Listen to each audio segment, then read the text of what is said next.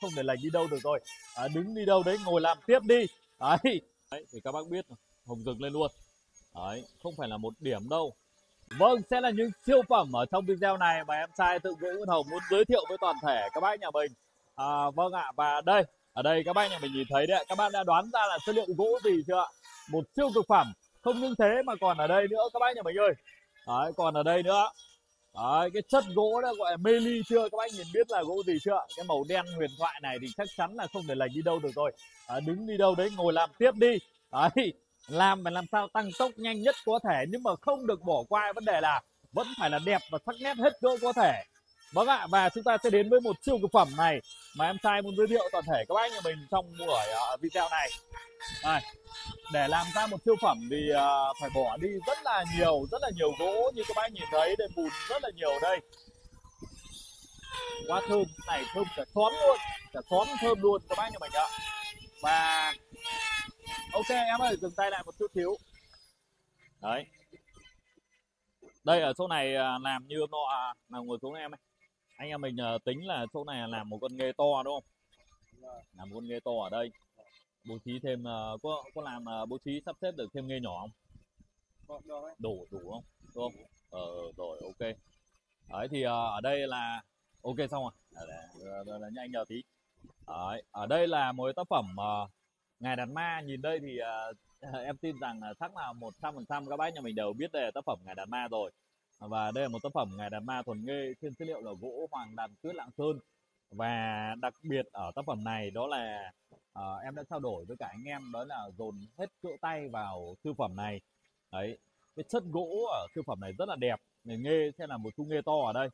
Đấy, một thu nghe to ở đây và có thể bố trí thêm những cảnh xung quanh đây có thể thêm nghe nhỏ có thể thêm uh, nấm thêm uh, sâm ở gì đấy nữa. Thì cái đấy là phần đấy thì trong quá trình làm thì các em sẽ tính thêm sau. Và ở đây thì cái dáng này thôi cái khung gỗ nó sẽ cong như này đây các bác nhìn này đấy nó cong như này. Vào cái dáng của ngài đạt ma thì sẽ rất là hợp lý rất là đẹp. Và một cái điểm nữa ở đây đấy là cái phôi gỗ mà các em tuyển chọn.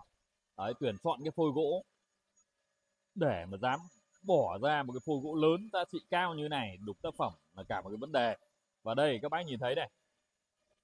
To như này và thấu quang như thế này. Đấy thì các bác biết hồng rực lên luôn. Đấy không phải là một điểm đâu mà tất cả đây chỗ này em phay ra bắt đầu phay ra làm thành cái à, vạt áo nữa nó còn hồng nữa. Đây đây này các bác nhìn thấy này. Tuyệt vời trên cả tuyệt vời luôn. Đấy nguyên cái giải lụa này. Đấy sau này giải cái giải lụa này dắt uh, con nghê này nữa. Đây các bác nhìn này hồng rực lên luôn này. Đấy đây này. Tất cả hồng hết lên này. Hồng rực hết lên. Ở chỗ điểm gậy này nữa này. Đấy chỗ gậy này nữa sau này hồng rực hết lên luôn này. Ở trên này nữa cũng sẽ hồng tất cả đây nữa này.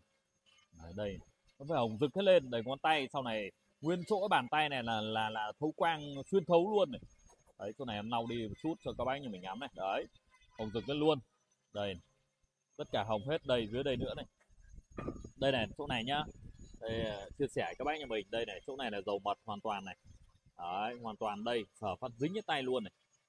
Chỗ này chắc chắn là sẽ thấu em dùng cái đèn game dọi vào sẽ thấu. Đây đây này. Các bác nhìn thấy từ đế này đấy chỗ này cắt ra xoay này nó mới dễ này từ đế đây này, hồng rực cất lên này. Đấy thì các bác cũng biết là như thế nào rồi. Nguyên phần này thôi nhìn đã rất là phê rồi. Đấy và đây nó vào tận ở trong này nữa luôn này. Chân gỗ này siêu đẹp luôn tận ở trong đây để các bác nhìn thấy. Phải nói là sướng. Đầu tiên là ở đây mình nói tới cái sướng về cái phôi gỗ cái cái chất gỗ mà mình làm à, tác phẩm này thì nó là một cái phôi gỗ mà nặng trịch luôn. Nó là nặng trịch đấy các bác cho mình ngắm. Khi mà dựng lên thì tác phẩm sẽ to như thế này. Đấy và to như thế này và ở đây à, đang mới vỡ thôi. Đang vỡ thôi thì còn à, vài ngày nữa em vỡ ra nữa thì nó sẽ còn à, tươi và đẹp và bắt đầu nó rõ hình lên nữa.